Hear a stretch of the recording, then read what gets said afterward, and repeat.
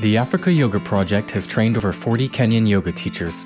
These young Kenyan leaders now teach free yoga classes in their communities, see their world, and be inspired by their voice in our new book, Portraits of Empowerment and Peace. Support our programs in these communities. Purchase the book and learn more about our programs at africayogaproject.org.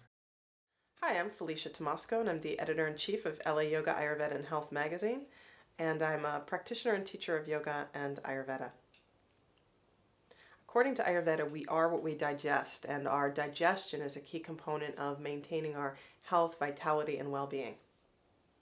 And there are many different teachings that describe how we actually take care of our digestion. So here's a few simple suggestions.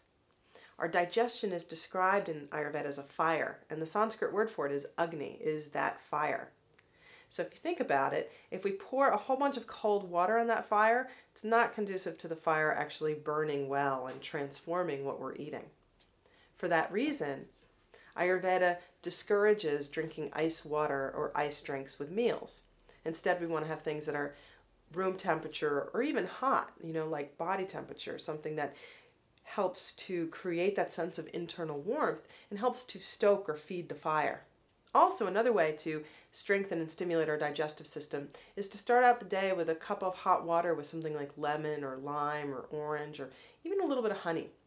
And what that does is begins our day promoting the process of cleansing, promoting the process of things moving through us that need to move through us, so then we can actually digest whatever we feed ourselves with or whatever we use to nourish ourselves. Another way to help promote good digestion is to give some space between meals. Now, there's lots of different theories about how often we're supposed to eat, and from the perspective of Ayurveda, different things work for different people. Some people need to eat more often, some people need to eat less often. But no matter what, giving us some space between our meals allows our body to digest whatever we've eaten before we move on to the next thing. Also, in terms of digestion, we want to think about when we sit down to eat, we're not just eating the food, we're not just taking in calories and protein and some vitamins, but we're actually taking in the whole experience because digestion is a process that exists not just on the physical level, but the mental, emotional, even spiritual levels. So, what is the environment in which you're eating? Are you eating your evening news along with your dinner? Are you taking in that horror movie or the fight with your family?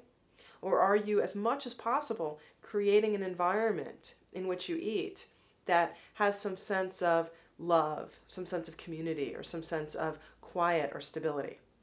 Are you eating in front of the computer? Are you eating in the car as you're driving down the freeway and cutting somebody off? It's like, what are the ways? Sometimes we don't even realize that we're eating when we eat in that way.